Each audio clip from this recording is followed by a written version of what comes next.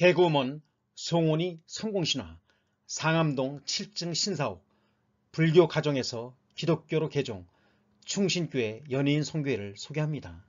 송원이님의 종교는 기독교입니다. 충신교회 연예인 선교회 이천동 충신교회에는 연예인 선교회가 있습니다. 충신교회에 출석하는 연예인들이 정기적으로 모여 성경을 공부하고 신앙 상담을 주고받는 이 모임에서 이성미 집사는 회원들의 멘토 역할을 하고 있으며 회원으로는 개그우먼 이영실, 박미선, 이영자, 송은이, 김영철, 탤런트 김석훈과 한상진, 가수 황보 등이 활동합니다.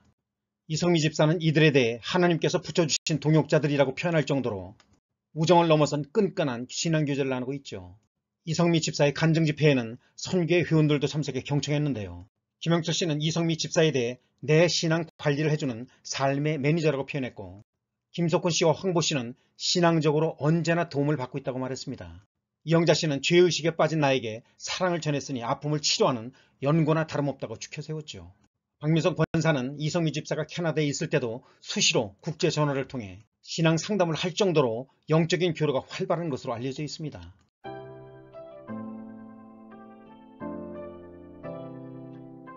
간증, 불교 신자 어머니 밑에서 자란 송은이, 그녀가 기독교인이 된 사연. 송은이는 서울예술대학 연극과를 졸업하고 1993년 KBS 특채로 데뷔, 수많은 예능과 교양 프로그램에서 개그와 진행 솜씨를 발휘하는 송은이 대학 동기 중에는 유재석, 이휘재, 신동엽 등 쟁쟁한 스타들이 많고 특히 유재석과는 무명 시절을 함께 보내며 각별한 우정을 쌓았죠. 김신영, 신봉선, 안영미, 김영유와 함께 셀럽5라는 이름의 걸그룹을 결성해 활동했고 2015년에는 모바일 방송국 비보TV를 개국해 기획자로 본격적으로 나섰으며 2017년에는 콘텐츠 랩 비루를 설립해 콘텐츠 제작까지 하고 있습니다. 게다가 근래에는 송은이 김숙의 언니네 라디오, 밥블레스유, 송은이 김숙의 비밀보장, 전지적 참여 시점, 불타는 청춘 등으로 잠도 제대로 못 잤다고 하죠. 이렇게 국내 최고의 MC 송은이가 하나님을 만나고 변화되었다는 간증이 많은 이들에게 여전히 많은 은혜를 전해주고 있습니다. 그녀는 독실한 불교 신자였던 어머니 밑에서 자랐으며 어머니는 김밥 장사를 하셨고 송은이는 항상 팔다 남은 김밥을 도시락으로 싸서 다녔다. 송은이는 어렸을 적 그런 가난이 지금 생각하면 오히려 은혜로 다가온다고 합니다. 어려운 가정 환경에서 자란 송은이는 개구우먼이 됐고 특별히 종교가 자신에게 필요하다고 생각하지 않았다고 합니다. 그랬던 송은이 씨가 집안에서 가장 먼저 교회를 다녔다.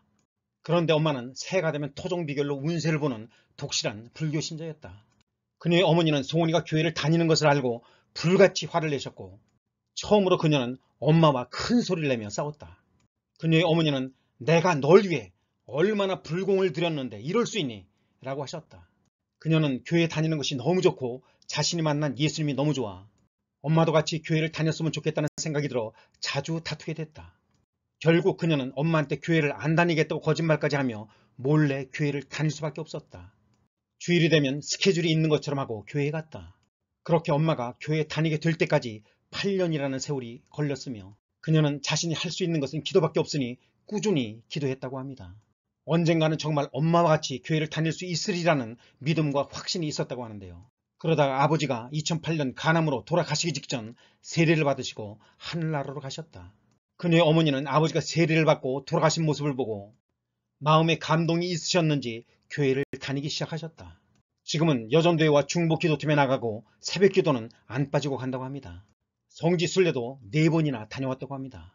송은이가 크리스천이 되는데 결정적으로 도움을 준 사람은 바로 개구우먼 이성미 씨라고 합니다.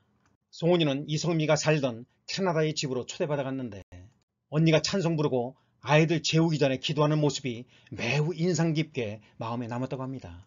그래서 한국으로 돌아오자마자 동네의 상가교회를 찾아갔고 그곳에 소그룹 모임에 참석해 한 주간의 삶을 나누는 그들의 이야기를 들으며 자신도 모르게 눈물이 났다. 지금 돌아보면 성령의 역사였던 것 같다고 고백합니다. 송은이는 하나님이 자신을 얼마나 기다리셨으면 그렇게 울게 만드셨나 싶다고 했죠.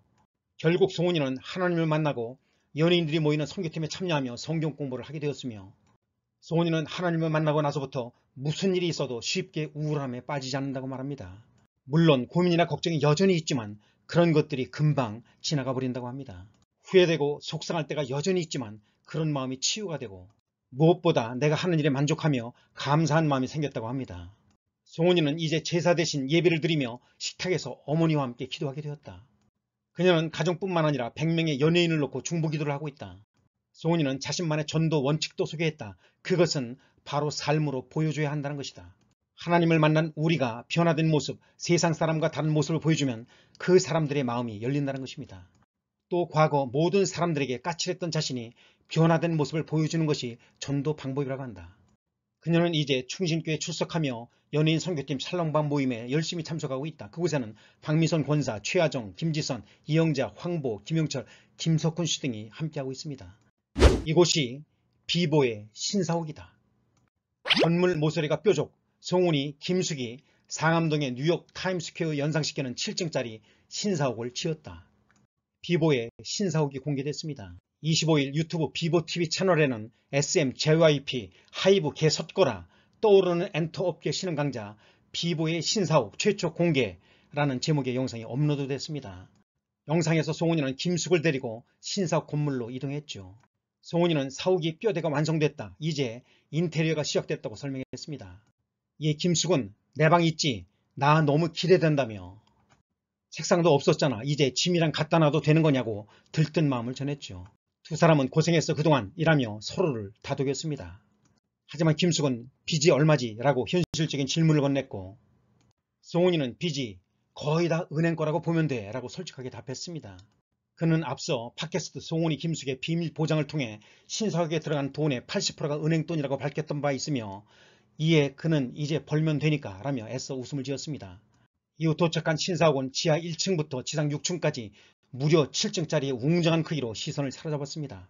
김숙은 커다란 건물을 보고 감탄을 펴는 것도 잠시 예상보다 좁은 측면에 아니 잠깐만 언니 이거 사기꾼이네 엄청 큰 건물인 척 하더니 여기서 보니까 없네 아주 얄쌍하네 라고 야유를 하자 그러자 송은이는 여기서 보면 비보의 비를 형성한 느낌이라고 말했습니다.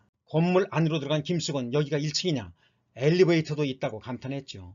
송은이는 엘리베이터 당연히 있지 라고 말했고 김숙은 언니 옛날에 4층까지 기어 올라갔던 거 기억 안 나냐 그때 힘들어서 라며 지난날을 떠올렸습니다. 이후 송은이는 널찍한 카페 공간을 소개했는데요. 그는 여기가 앉아서 차 마시면 너무 좋아 뷰가 너무 좋다고 말했습니다. 김숙은 이거 임대 줄 거야 라고 물었고 송은이는 규모가 애매해서 임대가 잘 안 될 것 같다고 하더라 라고 아쉬워했습니다. 이에 김숙은 임대해야지 우리가 지금 돈 버는 게 없는데 라고 말해 씁쓸함을 자아냈죠. 이 밖에 도 신사옥 내부에는 스튜디오부터 대기실, 회의실, 휴게실, 녹음실 등 다양한 공간이 마련되어 있었습니다. 특히 풍성한 채광에 김숙은 뉴욕 타임스퀘어에 있는 그 건물 같다며 해가 쫙 들어오니까 너무 좋다고 만족감을 전했고 뿐만 아니라 널찍한 테라스를 보고는 담배 피기 딱 좋은 곳이라고 너스레를 떨기도 했습니다. 5층은 펜트하우스처럼 널찍한 공간이 펼쳐져 있었는데요. 송은이는 5층은 직원들이 사무를 볼 수 있는 공간이라고 말했고 김숙은 우와 펜트하우스라고 감탄을 금치 못했으며 이어 울컥한다. 비보 7년 차에 처음으로 내 방이 생기는 거다. 여기가 내 방이야 라고 물었고 송은이는 여기가 야외 테라스 너무 좋지 라고 말했습니다. 하지만 언니 방은? 이라고 묻자 송은이는 여기가 네 방이고 내 방이다. 같이 쓰자라고 말해 김숙을 분노케 했죠. 김숙은 야 그럼 네 방이잖아 라고 분노했고 송은이는 같이 쓰는 거다. 왜 그렇게 생각해? 여기 데크 깔아줄 테니까 여기로 퇴근 박해. 이런 거 있어야지 라고 달랬습니다. 그럼에도 김숙은 아이씨 내 방 없어. 아이씨 양아치 담배 하나 줘. 언니랑 안 놀아. 라고 잔뜩 실망하는 모습으로 웃음을 자아냈습니다. 크리스천 송은이님의 건물주 되심을 진심으로 축복하며 좋은 일만 가득하시기를 응원합니다. 앞으로도 꽃길만 걸으시기를 위하여 기도하겠습니다. 오늘의 양식 키포인트 바이블 고린도전서 4장 20절 하나님의 나라는 말에 있지 않냐고 오직 능력에 있습니다. 오늘도 성령님과 동행하며 축복받는 하루가 되시기를 기원합니다. 크리스천 튜였습니다. 감사합니다.